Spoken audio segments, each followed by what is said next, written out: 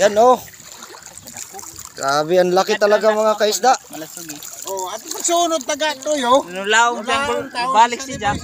Why, magsunod sa Laki ng Blue Marlin. Yan, lilinisan ng mga kaisda.